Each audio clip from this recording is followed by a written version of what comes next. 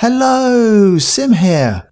Duma OS for the R1 has now finally arrived and it is in open beta as of October the 11th.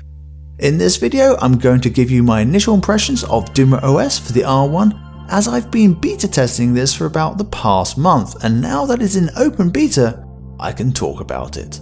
So if you want to keep informed about NetDuma and like to see easy to understand NetDuma tutorials consider hitting that subscribe button. As I mentioned, this is going to be an impression video. What do I like about it? What do I not? A full step through the interface will be in a future video. So installing it is fairly straightforward provided that your R1 doesn't have an old firmware on it. Hence NetDuma is doing a batch rollout which is controlled to ensure that no user experiences difficulties. I updated from 1.03.6i. The update went very smooth and a lot of my settings were kept. When devices got used later post another reboot of the router or that device, they came up and got named correctly like the Xbox One X for example. So all you got to do is go to the upgrade page, untick the check version, select the firmware file that you've previously downloaded and voila! Go and click that upgrade button. Now the actual firmware upgrade part of the process took in my case one and a half minutes. After that you get presented with a blank dashboard which you can customize and you got to see the customized version of my dashboard at the beginning of this video. There is no miscellaneous settings page for a reboot, you simply go and click on the eye at the top of the page for info, which confirms what firmware version you're doing, gives you some forum links and stuff like that, and you can reboot from here and as well you can do a factory reset if that is ever required. The update button or should it be called the upgrade button is right next to that little i button and again it's fairly straightforward to go and update the latest firmware from here. You can also downgrade to the traditional R1 firmware and I've tested that and I'll show you that later in the video. The person icon next to that is where you enter your login details so if you want to stop others from messing around with your R1 settings or mischievous kids from unblocking their internet devices which you've blocked because it's their bedtime, that's where you go and set your username and password. The notifications is a future feature and does absolutely nothing right now. So the footage you're watching in the background is me having a quick look around on the Duma OS on the R1 and everything was relatively straightforward having played around with Duma OS before on the XR500. Here and there I suspect I'll speed up some footage. What I was really interested in was good old buffer bloat control, and you see me ascertain the bandwidth, see what my pings were with no control in place, pump in, you know, type in those maximum bandwidth values into the Duma OS, set the sliders to 70% and rerun the test. Now, as you guys know who follow me, I've been having issues with my internet because I've moved house and yes, several engineers later, I'm hoping to have my internet fixed. So I really wasn't expecting too much, but I was actually pleasantly surprised and I got probably the best ping control I've had since I've moved into this house. So yeah, I was a happy bunny. So an important note um, that I need to say at this point in time of recording is that DSLreports.com has become very unreliable in telling you your actual bandwidth. So right now use speedtest.net and other speed test services that are out there to ascertain your actual upload and download bandwidth. Unfortunately, DSLreports.com has become unmaintained by the looks of things and it's just it's not as reliable as it used to be.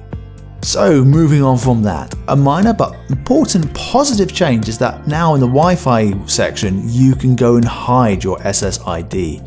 In other words, most people will no longer be able to see your R1 Wi-Fi network when they're looking for Wi-Fi connections to join. It's definitely a positive step in the right direction. However, I would like to see MAC address filtering in the future and hopefully we will see that.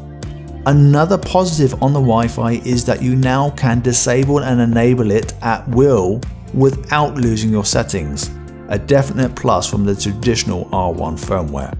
The standard UPnP capabilities there along with port forwarding, but there is no disable port forwarding rule features there, so yeah. So all you've got is the capability of either editing or deleting it. So once you've added one, it remains active, you just cannot disable it, so you have to delete it if you don't want it to be active.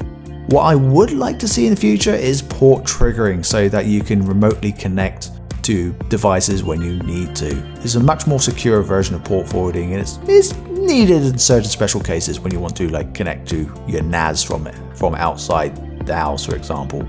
Now mentioning these features and improvements I would like to see, I suspect some of you might be a little concerned, I know. You're a lot of gamers, we like things simple, I'm getting a little nervous, Sim saying this, Sim saying that.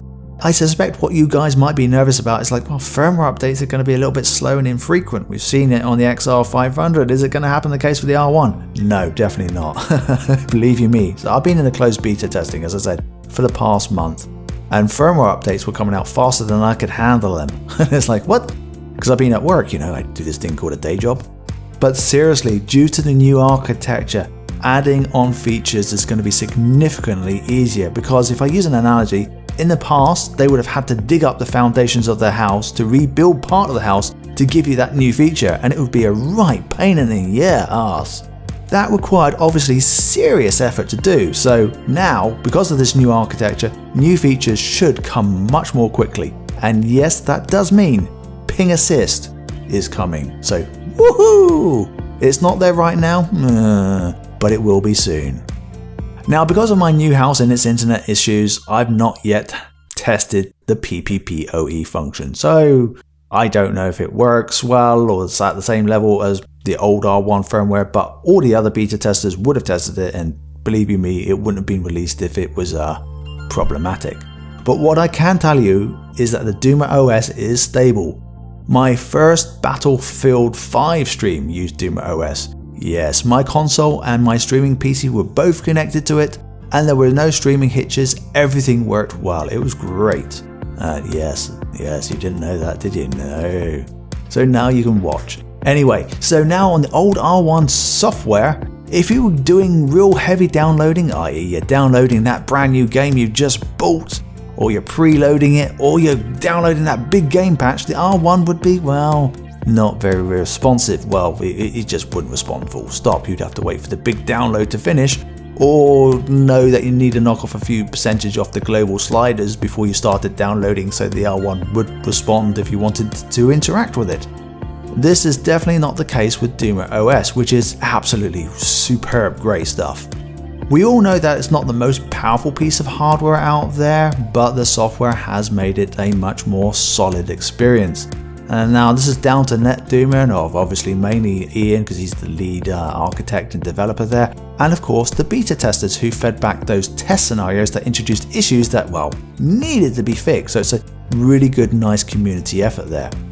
So the interface looks pretty swishy and that's to be expected. But if I'm going to have one gripe with the interface, it's this. It looks great on a 1440p monitor and that's what you're predominantly seeing most of the footage from, a 1440p capture and it really does look sweet. But when you try and try and use it with a laptop, and let's face it, most people out there will have laptops these days, and they all come with like these things called a 720p screen, and it's not so nice. The UI, that being the user interface, needs some tweaking. Now, if you try to simply zoom out using the web browser zoom capability, this doesn't really work. So if you've got a custom dashboard that works great, looks sweet, nice on 1440p, it sucks on a lower resolution. And I'm just thinking like those who want to connect to it via tablet in future or mobile phone, they need to go and tweak the UI. Now, having said that this is, you know, a new architecture, that capability of tweaking the UI to work better with lower resolution screens should be in the art of the absolute possible. Obviously, they had to get all the foundations in place first so this is the whole point of this new architecture. Get those foundations in place and then have the flexibility to put on all the bells and whistles on later, you know, to keep all those gamers happy, including Sim. so what else would I like to see? One, for the geo filter and its auto ping panel, I'd love to see a country listed. It's great we can easily see, and that means all of us, not just those of us privileged with yellow circles from the past, whether we're connected to a dedicated server or a peer, i.e. another gamer who is the host. So why do I want to see this? Well, it comes back to the whole issue of it's not optimized well on laptop screens. When I'm streaming, I'm on my PC. My 1440p panel is being used for that, so I'm using my laptop to see what's going on in NetDuma. And I just can't see all the information on a laptop screen. Now, one can customize your own dashboard, and I have, but again, I, I, don't want to have to create a or delete and rip apart my custom dashboard, which works great on my big PC monitor, but doesn't work so great on the laptop. So hopefully this is going to be, you know, fixed and tweaked in the future.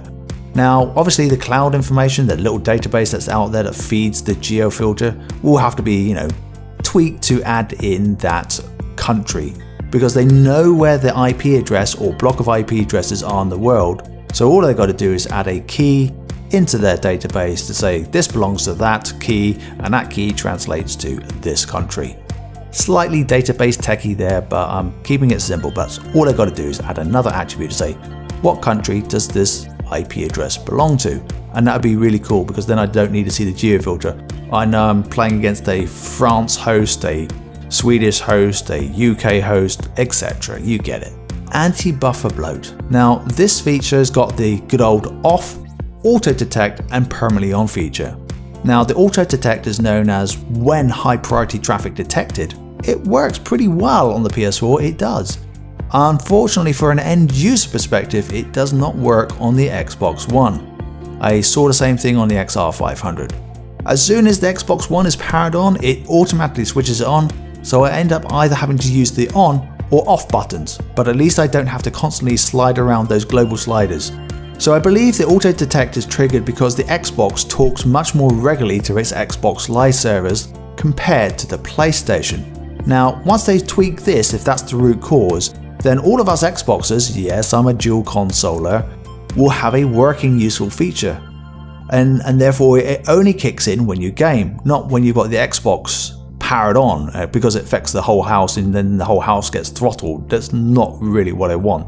At the moment I have to use the on button or the off button. Having said all of that, the R1 does have a bright future with Duma OS. Now the R1 has 100% NetDuma controlled software, so the turnaround on bug fixing and adding new features is going to be good. It's going to be much more timely. So that's a good thing because you know, us gamers are never impatient, right? On the whole, I'm pretty happy with the R1 Duma OS. Downgrading does work, so if you find yourself going, but I really need this feature or something's just not working quite right for you, you still have the option to downgrade your software and remain happy with your R1. So I do hope you found this video informative and if you did, give it a thumbs up. And one final comment, because I haven't written this in the script. is for the geofilter I'd like to see the dedicated servers just stay a little bit longer on that map because it's really really useful when you're optimizing your geofilter it really is. At the moment I, I would have to go back to the R1 firmware to see where those servers are to be able to optimize my geofilter and ideally I don't want to be doing that. So hope you found this video informative. If you did give it a thumbs up and until next time this has been Sim